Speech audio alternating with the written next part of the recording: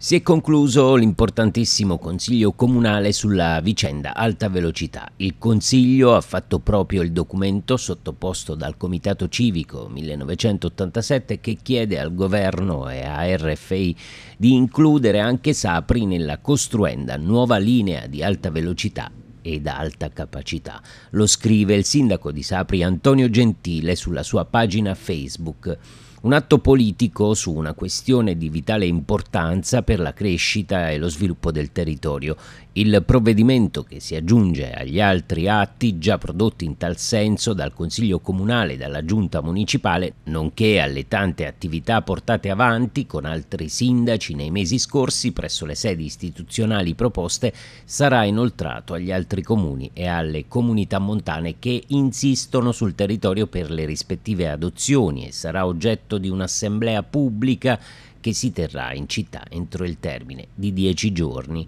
Consapevole certo dell'importanza dei comitati civici, nonché delle risoluzioni a livello istituzionale, ho annunciato al Consiglio che se nello stesso termine le istituzioni competenti e di riferimento non daranno risposte concrete e serie, continua il Sindaco, per le vicende alta velocità e ospedale di Sapri inizierò come estrema azione di protesta civile lo sciopero della fame e poi sottolinea a tal proposito accolgo con piacere l'adesione alla protesta da me annunciata del capogruppo di Sapri Democratica. Non molliamo un centimetro e lottiamo insieme per i diritti della città, conclude il primo cittadino.